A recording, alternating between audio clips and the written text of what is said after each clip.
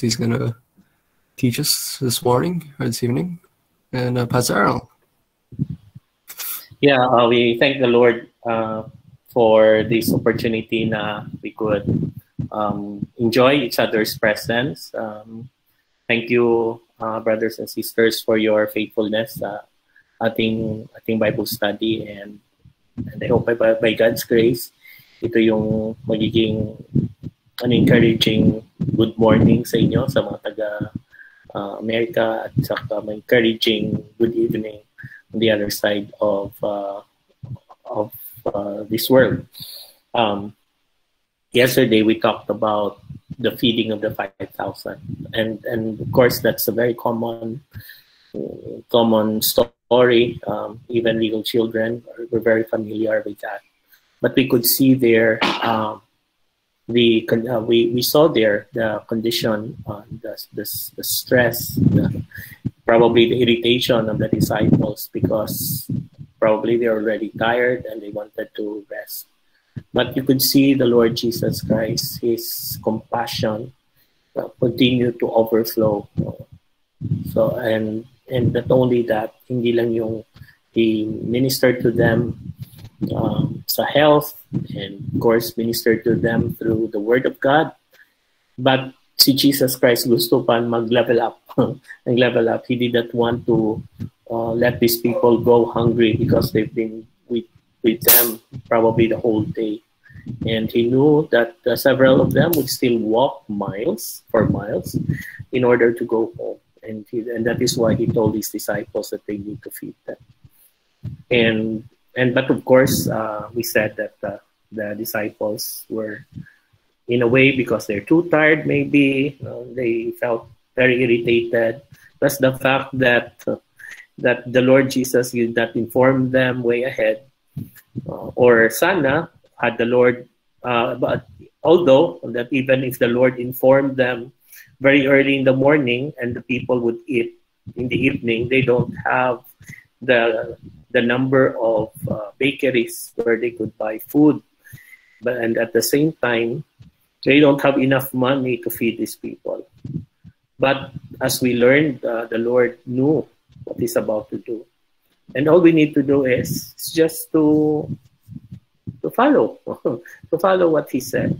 Siguro ganoon din sa sa atin sa as far as in sharing the gospel uh, because many times maybe because we're so tired uh, maybe because uh, anong tawag dito? Um, uh, gusto na nating umuwi uh, gusto, uh, we had a long day that that doing the ministry or if there's a person there who wanted to who wanted to talk to you about the gospel parang naiirita ka na um, but but you know what?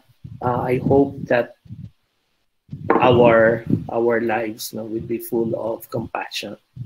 That they need they need the lord jesus christ. They need uh, they need the word of god. And and i hope that will not stop us. Kahit sometimes na medyo nakakapagod na, but if indeed you could see people there that they need, need really need to hear the gospel, I hope we would be ready to just uh, share to them Christ. And sinabi rin natin na sa ating ministry, no, konting level up naman. Uh, so maybe uh, hindi lang yung right away we share to them the gospel, Maybe we could do that while having coffee.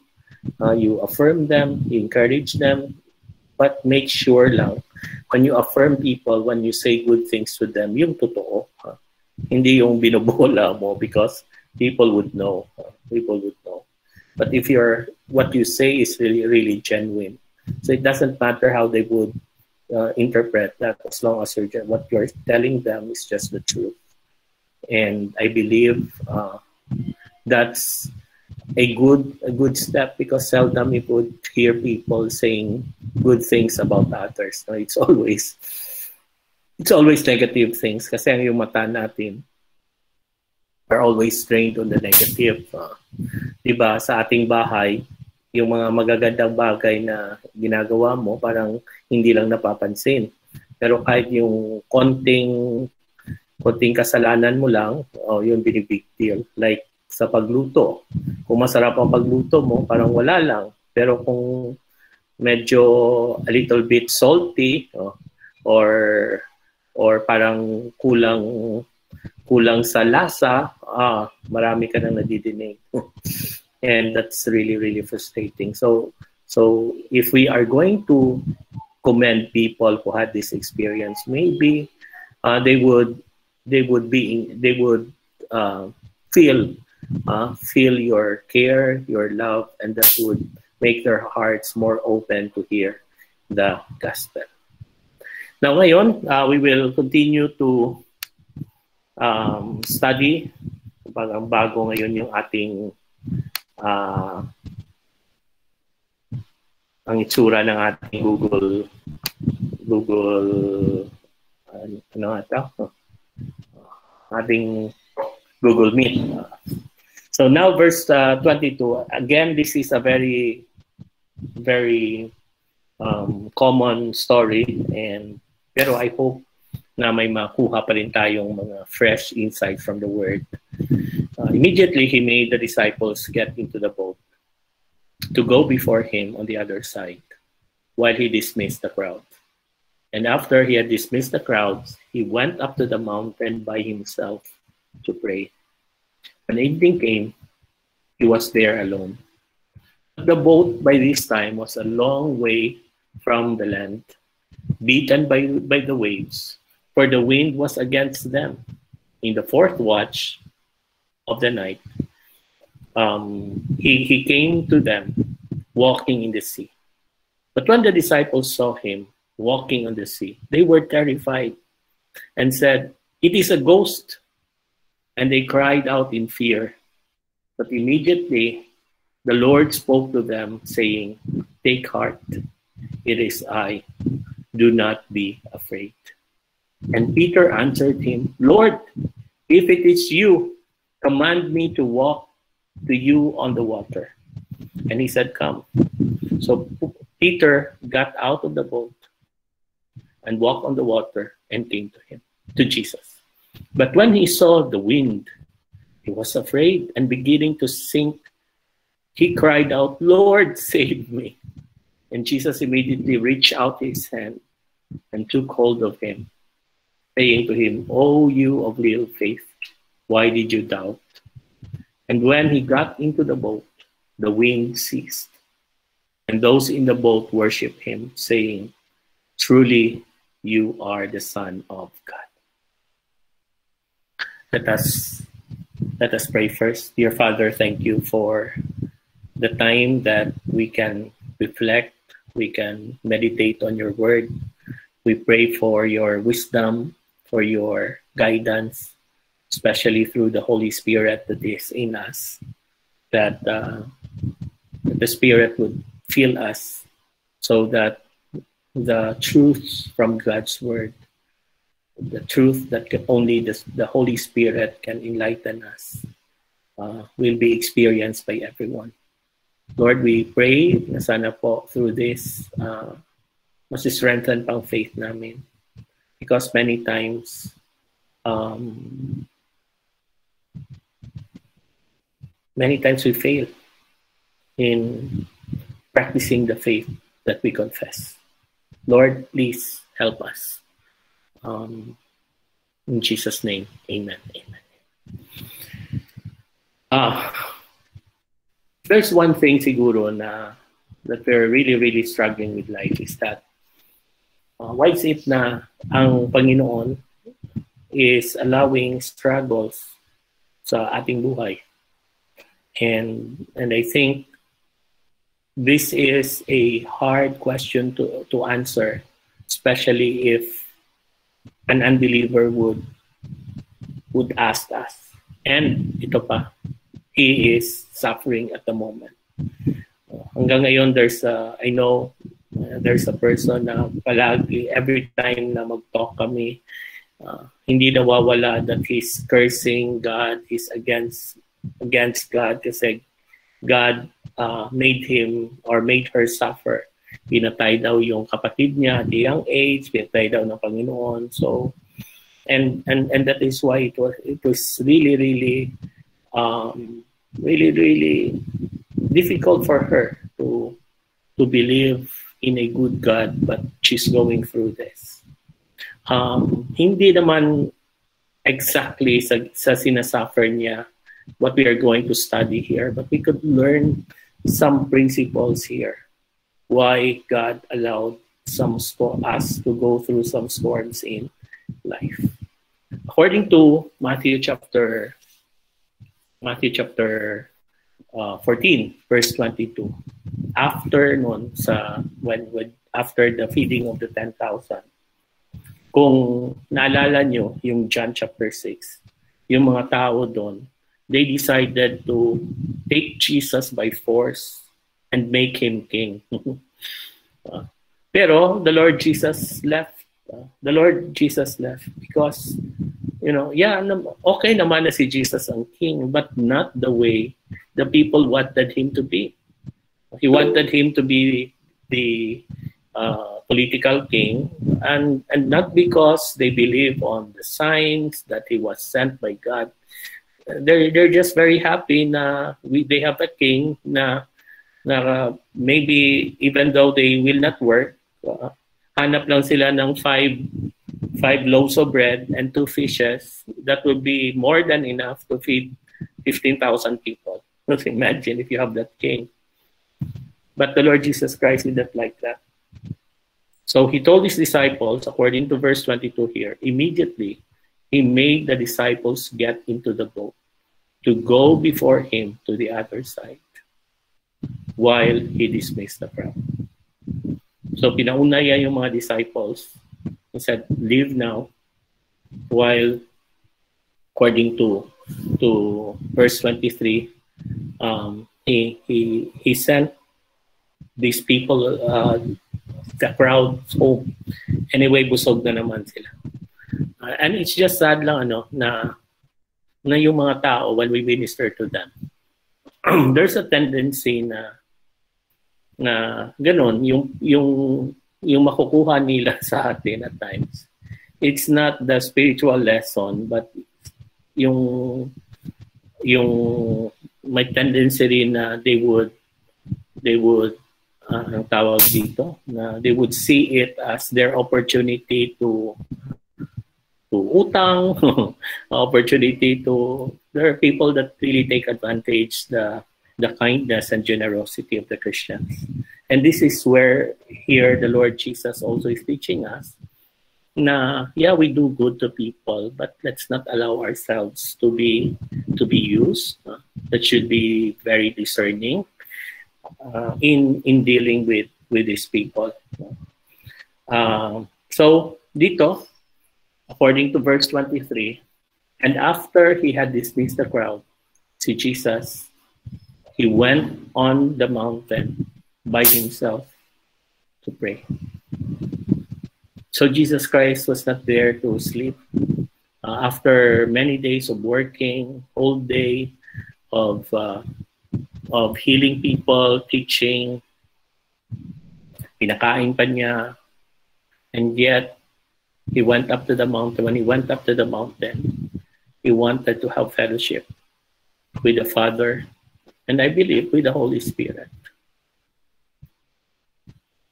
According to, to the next sentence here, when evening came, he was there alone. And, and I think this is a good reminder to all of us na uh, many times tayo, uh, ang isang reason why we don't have time to the Lord, we don't have time to read our Bible, we don't have time to to pray is that we said we were really busy the whole day. Pero if you see the Lord Jesus Christ, he was way busier than any one of us. And yet, he went to the Father and pray. Kaya lang, many times, ang nakakalungkot lang because we see prayer as as an parang uh, parang punishment parang oh, okay.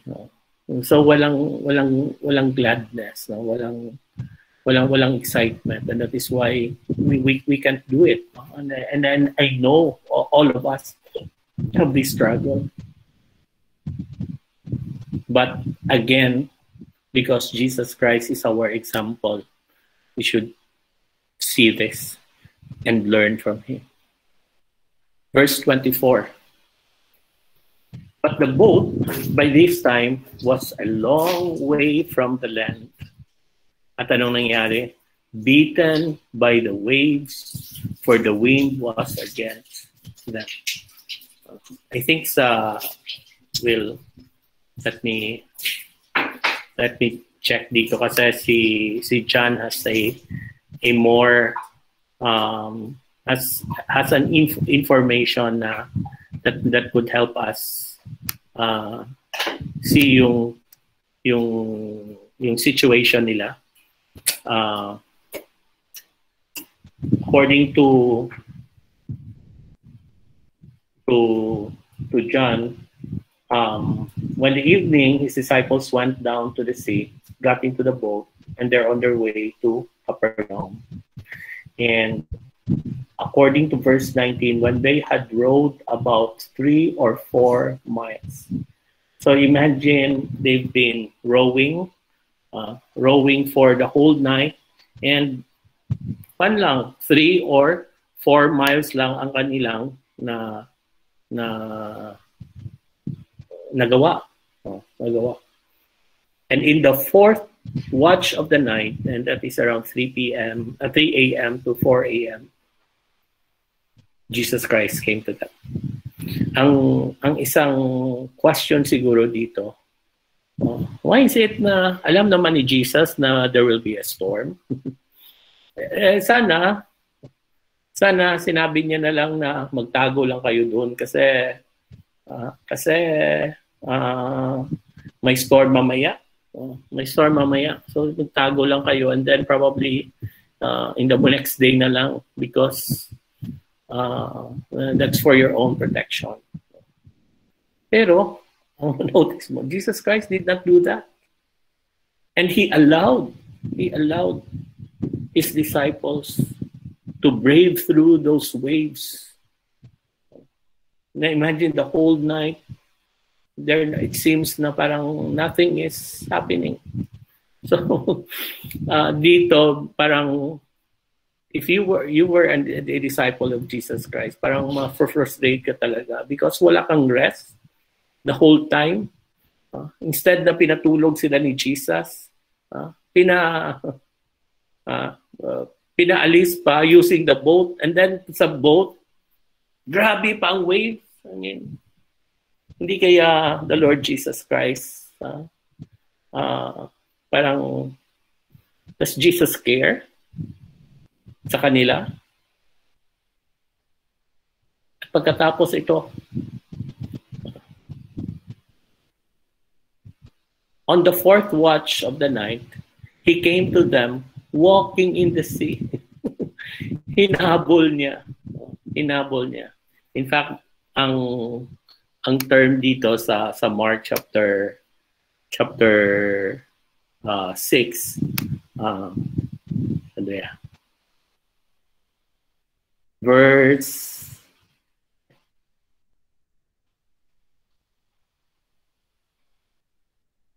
Verse 47, sinabi dito, When evening came, the boat was out on the sea, and he was alone on the land. And he saw that they were making headway painfully, for the wind was against them. So you, could see there parang, Lord, uh, you saw, he saw his disciples struggling kasi ang direction that he wanted them to go was going against the wind.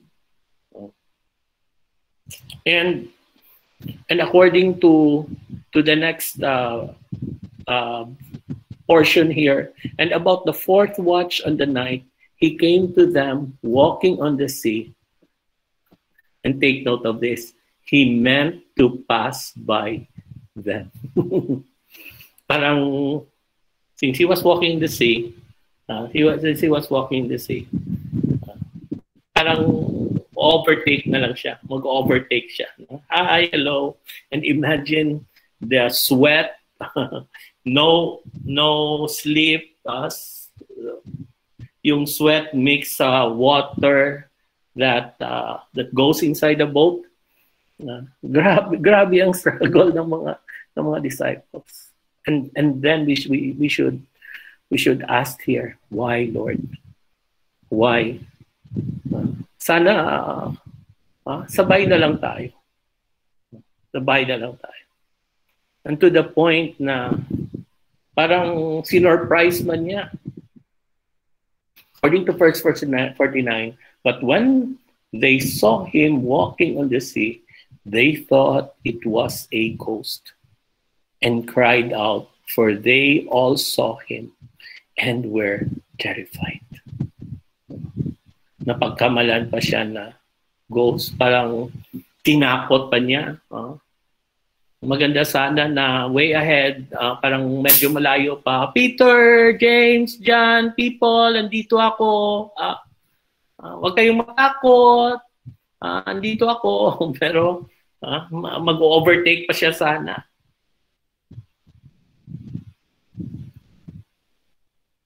Parang, Lord, ano, ano, ano ba, Lord, are you, parang pinaglalaruan mo kami? you know, I think ang ang mga disciples had, had this previous experience, 'di ba? When on, they were on their way sa place ng Decapolis sa Gadara, yung where the Lord Jesus Christ um, healed the man which was possessed by by legion, you know, many many many evil spirits, dalawang libong uh, evil spirits doon yung which was cast by by the Lord Jesus Christ. And and on their way, diba, na there was uh, a storm also, and Jesus Christ was just sleeping at the back, and they were terrified. They were really, really terrified that they they questioned the sincerity of the Lord Jesus Christ or the care of Jesus Christ toward them. Lord, uh, uh, wake up. Uh, don't you care for us? and, and I think ganito rin. ganito rin. So they, they, they question and said, Lord, it is a ghost. But immediately Jesus spoke to them saying, take heart. It is I. Do not be afraid. You know, um, many times the Lord allowed us to go through these stormy situations in life. Because it is during that time that we can appreciate the presence of the Lord. Diba? I know na when they saw the Lord Jesus Christ, when they saw the Lord Jesus Christ walking in the storms, uh, they they were already comforted. although although na nagulat lang sila, but at least they were comforted right now. At ganun din. Ganun din. Sa mga struggles natin sa buhay. Um, and, you know, uh, may, we are in a particular situation. So sometimes, Lord, saan ka? But once the Lord would reveal himself to us through his provision, through his healing, through his care, through the comfort of his word. That's that's how our faith is strengthened. And and kung makita natin dito, parang Lord sana you gave us this lesson nung hindi hindi kami pagod. But you know, God God many times would just let us learn the lessons in life so that our strength, our faith would be strengthened. I don't know, kayo, every time na may mga storms sa buhay ninyo, anong nagiging resulta? Yung nas, nas-strengthened by your faith niyo? Pero another thing na which is interesting to me is that verse 28. And Peter answered him, Lord, if it is you, command me to come to you on the water. Oh, grabe si Peter. Grabe si Peter. Lord, kasi yung, yung isang goal ng isang disciple is to be like his discipler, his teacher. Yun yung kanya. So, so Peter was saying in a way, Lord, I want to be like you. Allow me also to walk in the water. Jesus Christ said, Come. Pero, na-notice ninyo, na hindi muna sinabi ni Jesus Christ na, uh, by the way, sandali ah, I'll just calm the water first. Uh, uh, sandali lang ah, uh, para hindi ka mahirapan, I'll just, you know, uh, I'll just rebuke the storm right now. Uh, para, you know, you, you can walk well. hindi. hindi. The, the, the Lord the Lord Jesus Christ said, oh, come on, dito ka. Uh, come, come here. So he walked in the water and came to Jesus. Verse 30, but when he saw the wind, he was afraid and beginning to sink and cried out, Lord, save me. You know, many times doon din ta natin kine-question, Lord, di ba, sinabi mo na na gagawin ko ito? But why is it na uh, na na marami pa rin mga trials, marami pa rin mga distractions. O na nag-sync na lang tuloy ako. Why why why the Lord allowed it? Because maybe as we learned sa maraming lessons na narinig natin sa passage na ito, na sana si si Peter just focus on the Lord because when he was focused on the Lord walang walang nangyari on the initial part but once na lose na ang focus niya sa Panginoon he just look at the water and the waves he began to sink at ganun din ganun din walang waves actually na makakapag-destroy ng faith natin if we just look on Jesus as the author and finisher of our faith. And, and ang, ang, ang problem kasi many times, na nadi-discourage tayo because we compare ourselves sa ating situation sa ibang tao. We, we go, when, when we are going through tough times, we said, Lord, why is it na yung ibang uh, kapatiran, hindi sila nag, are suffering like me, yung mga unbelievers they are in better situation than me. So when you start to focus on those on those issues uh, on on on the things that you could see in this world try to compare and lose sight and lose sight sa Panginoon alam mo the Lord allowed it because he wanted us to build our faith more to strengthen our faith more in him doon tayo problema. And we sunk. Di ba? Ang during the time na nag-backslide ka because na-discourage ka because of of some difficult situation. Di ba? When you started to lose your focus on the Lord Jesus Christ, that He has a purpose, He is God, He is all-powerful. He could help me. And you start mag-self-pity ka. Uh, and, and yung mga discouraging moments din, doon doon ka na na si na na, na di-depress. But in in verse 31 here, kita natin that the Lord immediately uh, oh, ito yung maganda kay Jesus hindi niya pinabayaan si Peter. Immediately, he reached out to his hand. After he called to the Lord, save me, the Lord reached out. At ang sinabi lang ni Jesus Christ, O you of little faith, why do you doubt?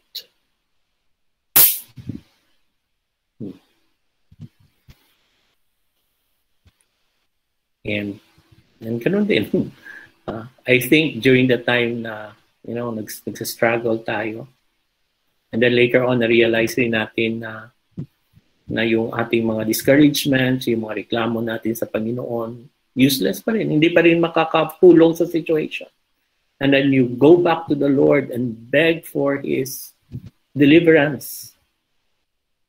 Siguro, ganito rin ang sinasabi sa atin. Oh, you of little faith, why did you doubt? Balik ka naman, balik ka rin sa akin, di ba? Ganun din. Kung totoong kristyano ka, and you will feel discouraged at lalayo ka, babalik at babalik ka rin. Because at the end of the day, at the end of the day, you would realize na to whom shall we go?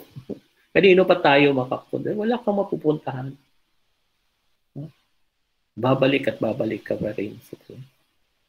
And then verse 32. And when they got into the boat, the wind ceased.